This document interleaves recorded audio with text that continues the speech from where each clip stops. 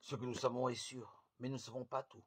Et ce que nous savons, nous le savons en énigme. Pour eux et pour nous, Dieu est le même Dieu. Qu'il ignore que nous croyons en lui, il ne change pas Dieu. Que nous ayons connu l'amour de Dieu et que nous y ayons cru ne change pas l'amour de Dieu pour le monde, pour chaque homme qui est dans le monde. Que par le baptême nous ayons été appelés, justifiés, sanctifiés, ne change rien au fait que chaque homme est une créature de Dieu, qui a en Dieu la vie, le mouvement, l'être, qui est voué à la ressemblance de Dieu. Il arrive ainsi que nous vivions, non la réalité immense de la rédemption, mais l'idée hésitante et réduite que nous nous en faisons. Mais comme toujours, on ne peut pas croire faiblement et évangéliser fortement.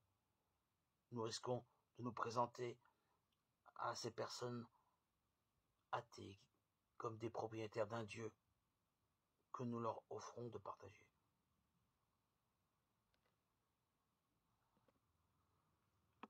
Toutes ces personnes non croyantes sont aussi notre prochain.